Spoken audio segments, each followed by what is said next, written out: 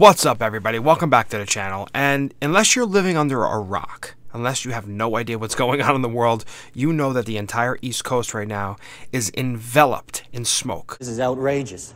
We are, uh, I, have never seen anything like it. Uh, out here on Long Island, I've never seen anything like it. Orange sky, smells like, uh, my clothes smelled like smoke today.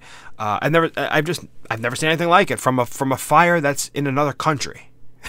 literally in another country, but there's a perfect storm, literally. Uh, there's a storm sitting off Maine and off of Nova Scotia that's just spinning, low pressure, pulling the smoke down.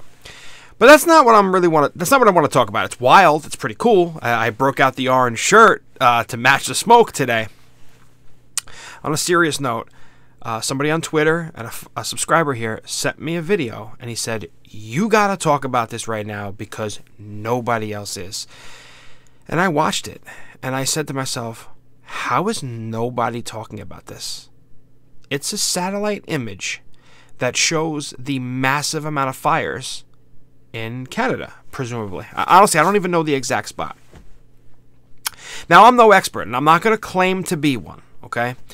But what I do notice in this video, and I'm going to play it in a second for you, is that it must be what 15 fires, I'm going to say. I don't, maybe I'm wrong. Maybe it's 8, maybe it's 20, but just don't hold me to the exact number. But every one of these fires starts at the exact same second, and they're presumably over hundreds of miles apart, some of them. Well, why don't you check it out for yourself? All of southeast Quebec just caught on fire, guys. All of it. Insane. Insane. Look at that the whole thing all at once. Today. And this is on top of Nova Scotia, New Jersey, and the entire western side. Did you see that? No way! It took me a few times of watching that over a couple times to really, uh, like, really grasp it. That's a lot of fires starting in completely different areas at the exact same second. How's that possible? What's going on here? Was there an event? I'm, I'm asking. Is there was there an event going uh, on across Canada, across hundreds of miles, and somehow that doesn't make any sense, right? How are fires starting, so many of them, at the same second? What's going on here? The problem is, normal journal, uh, like normal journalism, would have asked these questions. People would have put this on the news in the past. Journalists would have said, hmm, this satellite image is fishy. Let's investigate. But the problem today is that doesn't happen. It's going to happen here on my channel. It's going to happen on other channels. It's going to happen on with people on Twitter. It's gonna be it's gonna happen, right? But it's not gonna happen in the mainstream. Why not?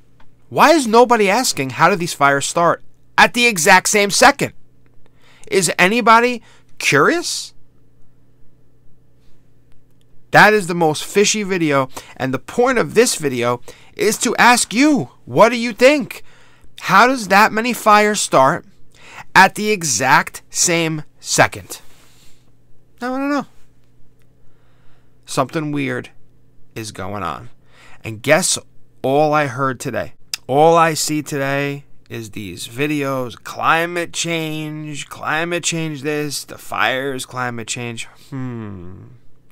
Interesting that that's all I do hear from the mainstream media and their lackeys like Harry Sisson. These guys, he must have put out five videos today. You know, screaming at the phone, pointing and and this that Republicans don't do anything. Not that I like the Republicans. I'm an independent, but still a point. And this that climate change. It's funny. I watched a video of uh, Leonard Nimoy, the guy who played uh, Nimby. Nimby, if I'm saying that right, the guy who played Spock, uh, and it was from the 1970s, and he's he's bundled up and he's in wherever he is and snowing. He's like the Earth is at risk of turning into a uh, a snow globe again, just like it did back in the prehistoric days, and we're at risk. Global freezing is coming, and nobody's preparing for this, and the ice caps are expanding every day, and blah, blah, blah, blah, right? Eight times in the past million years, it has advanced and retreated with clockwork regularity. If we are unprepared for the next advance, the result could be hunger and death on a scale unprecedented in all of history. What scientists are telling us now is that the threat of an ice age is not as remote as they once thought. During the lifetime of our grandchildren, Arctic cold and perpetual snow could turn most of the inhabitable portions of our planet into a polar desert. In 1977, the worst winter in a century struck the United States. It only took a few short years that that turned into global warming is coming and uh, global warming, and then that changed because it got cold again a little bit, and now it's climate change now.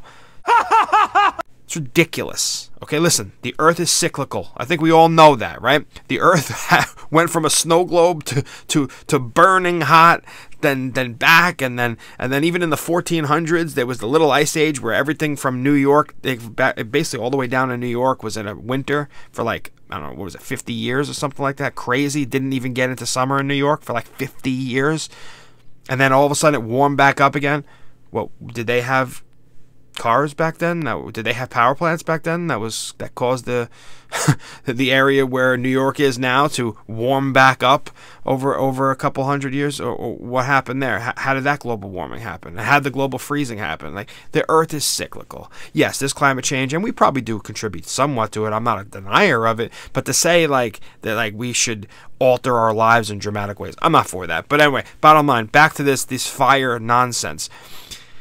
This whole fire thing, and then now this is all I hear is climate change about this stuff. Meanwhile, you take a look at the video, and there's 15 fires that start in the same second. What? Something is fishy, and when something is fishy, there's usually a fish nearby. Let me know what you guys think in the comments. Catch you later.